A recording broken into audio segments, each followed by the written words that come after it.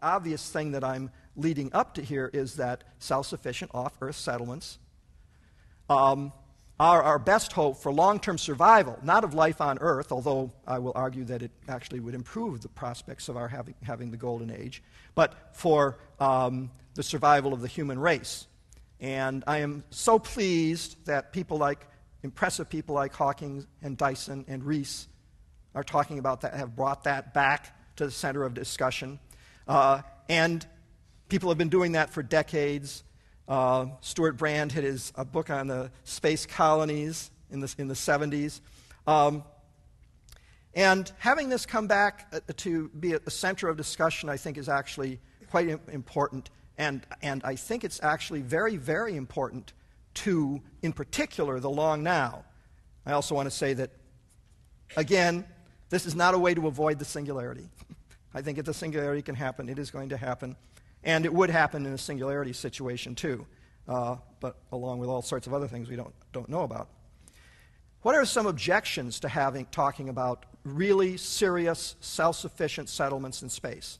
The first one is, which I, I get very seriously from very serious people, that chasing after safety in space would distract us from solving our life and death problems on Earth. I, you know, I, I, I, I think the situation on earth is sufficiently dangerous that a moral stand on this issue is, uh, you know, against uh, uh, space colonies is, is, is very, very uh, uh, dubious. Uh, chasing after space assumes the real estate is not already taken. Hmm, that's actually a possibility. that and the singularity are two of the most important practical mysteries that we face.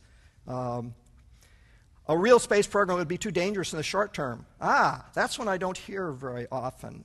I think actually some virtue in that. You remember in that last slide, things blew up because people were dropping big rocks on their enemies? Uh, a, real, a real space program, meaning cheap access to space, is very close to uh, providing a, a, a, WMD capability. This may be one of those very rare circumstances. Normally, when people talk about things they want to do, they're dangerous in the long term, but there's some gratification in the short term. Here, you have something that might conceive, well, not, that I think is very good for the long term and might add somewhat to risks on the short term. That is kind of a peculiar situation. I don't think the, the existential risk is, is that great, but I wanted to put it on the list. And then there are the practical objections. There's no other place in the solar system to support human civilization, and the stars are too far. Well, being a child of 1950s science fiction, I could go on about this for another hour or so, but let me just say the stars are not uh, too far. Um, even at, even at, um, even at uh, uh, relatively low speeds, um, if you're a long now type of person,